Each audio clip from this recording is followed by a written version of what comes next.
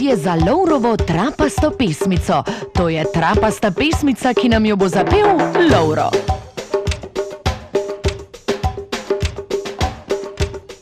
Gospe in gospodje, dečki in deklice, na vrsti je multimedijski dogodek leta. Kumara Lauro vam bo predstavil pesem o zebuju.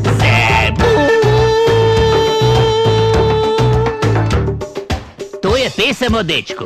O dečku in njegovih zebujih. O dečku in njegovih treh zebujih. Deček je imel bolnega zebuja, žalostnega zebuja in nemega zebuja. Pa še povodnega konja. E, e, to sem jaz na letališču. To je moja teta Zinka. To sem jaz na bikoborbah.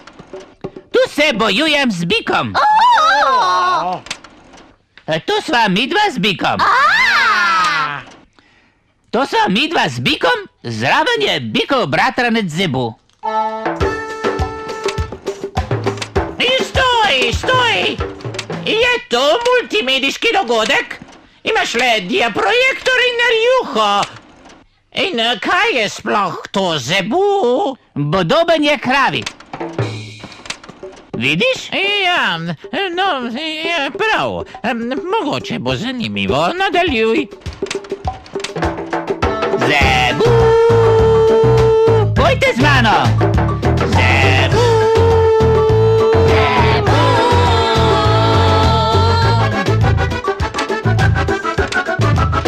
Z dečkom je sedel v zebu, Z dečkom je sedel zebu, plul plul mesto je kanu. lumesa yakano Bauni yare saben kihau achik momo achik momo achik momo achik momo achik momo momo. Mumu, momo achik momo Mumu, momo achik momo achik momo achik momo momo Powodny konie stał, powodny konie stał, a niekam je zjał, a niekam je zjał. Žalostlivé slaje ňoče, ojoj momo, ojoj momo, ojoj momo, ojoj momo momo. Ojoj momo, ojoj momo, ojoj momo, ojoj momo, ojoj momo, ojoj momo,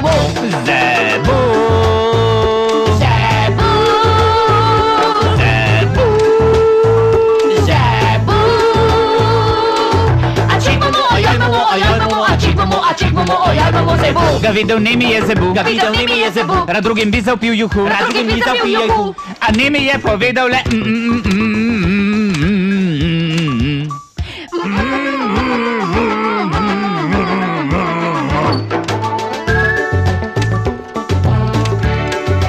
Ojoj, Stoj, kaj se zgodi na to?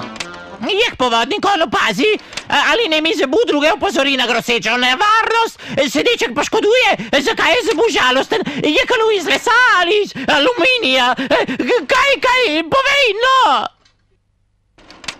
A, poglejte, midva z Robijem v zavobiščnem parku. O, ja. Na to sem pozabil. E, tu sem se spet srečal z bikom. E, pesmi ne moreš kar tako končati. E, Od tebe sem pričakoval več, e, razočaral si me. O tem se bom pogovoril z Robjem. Ja, ne z Robjem. Najbolje. O, poglejte, zebu! Zebu.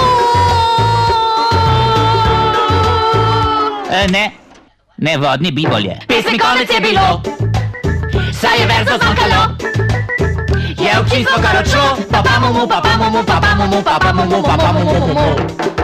Hoče svoj denar nazaj. Ja, niso si ga zaslužili.